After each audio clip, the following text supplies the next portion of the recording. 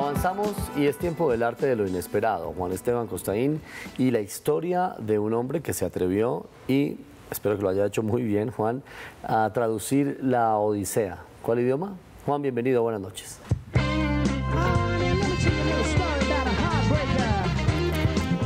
Hola Yamit, Julieta, Roberto.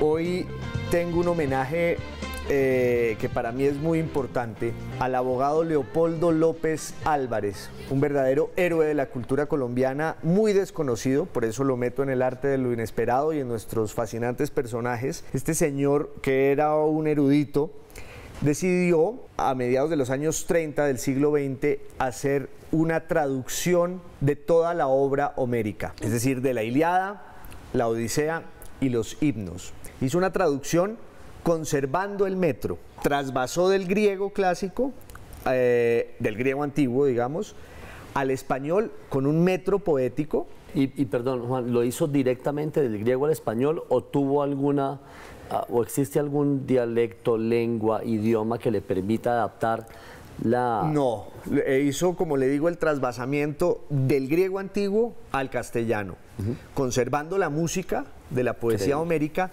pero eso no es nada. Digamos que eso era lo fácil. Él quiso hacer una edición bilingüe de las obras de Homero y empezó a ver en las imprentas de su ciudad Pasto y resulta que era imposible hacer esa edición porque no existía una caja tipográfica con los tipos griegos.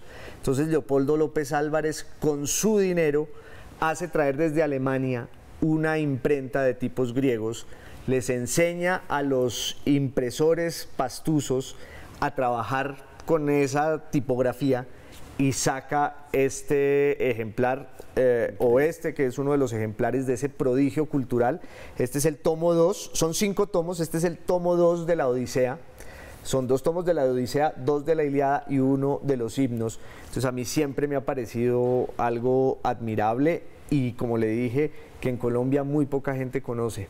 ¿Cuánto tardó López en hacer estas traducciones? Dicen, dicen que, la traducción le tomó casi toda su vida, eh, porque además no solo tradujo a Homero, sino que también decidió hacer una traducción de toda la obra del poeta latino Virgilio, de la que también hizo una edición bilingüe. O sea, este señor era en realidad desmesurado. Habría que hacer como un documental o una película sobre él, muy reconocido en Pasto y en Nariño. Usted sabe que la gente de Nariño es una gente muy ilustrada muy culta. Sí. Y entonces allá López Álvarez sí es importante, pero por fuera de su región son muy pocos los que lo conocen y lo celebran y yo creo que esta proeza vale que Colombia le dedicara aeropuertos, himnos y hasta el escudo nacional. Fabuloso. Seguramente alguien se preguntará, Juan, como siempre nos preguntan después de, sus visitas y valiosas intervenciones, eh, ¿es fácil conseguirlo, por ejemplo, o hay que hacer una labor de búsqueda exhaustiva y de pronto tener mala suerte?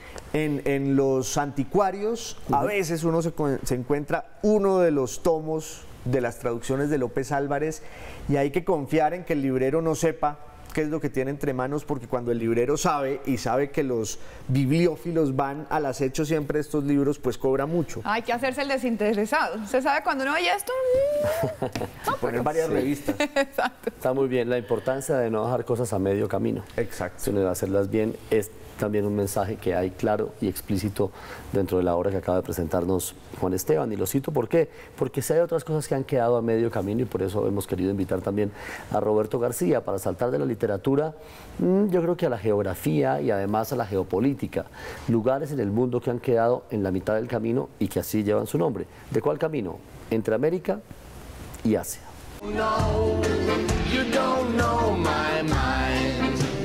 Pues Julieta, Yamil, Juan, los quiero llevar a un lugar, como usted lo dice, en la mitad de un camino muy lejano, a 5.000 kilómetros de cualquier parte. Un escenario, Juan, que ha sido escenario de grandes batallas de la humanidad, hoy tiene tal vez la última batalla que podamos los seres humanos dar. Yo quiero invitarlos a ver esta, esta nota. Perdón, pero me genera inquietud, ¿cuál es la última batalla? Esa es la que vamos a ver y ustedes la van a saber al final de esta nota.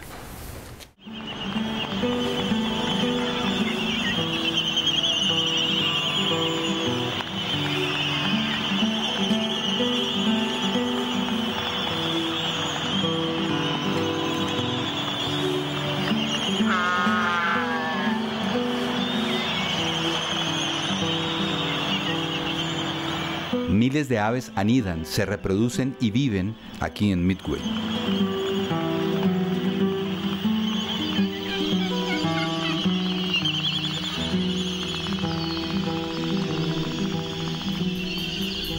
Estas islas se encuentran ubicadas a la mitad del camino entre Asia y América, de allí su nombre, Midway, a 5.000 kilómetros de cualquier parte.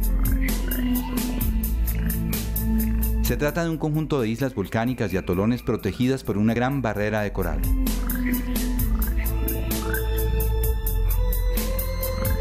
Aquí, en este paraíso, la acción del hombre ha ocasionado grandes estragos.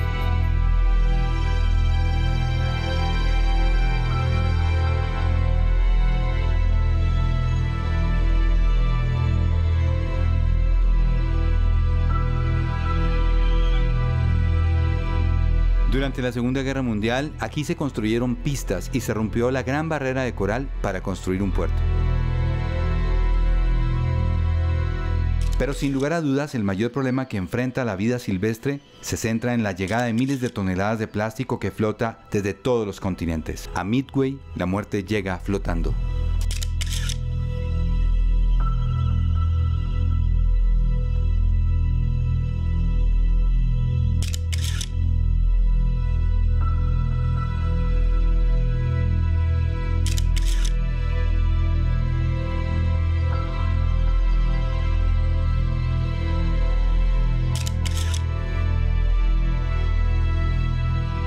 La vida del planeta está en grave peligro. O tomamos conciencia o nos destruiremos junto con el último ser vivo que matemos.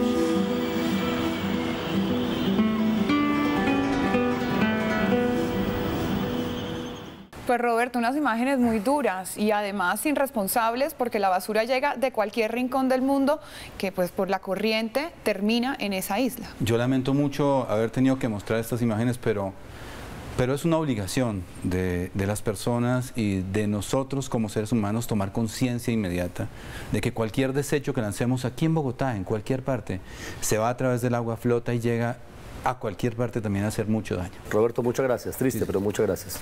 Válida la reflexión para el presente y para el futuro. Vamos a hacer una pausa comercial. Ya regresamos a GPS.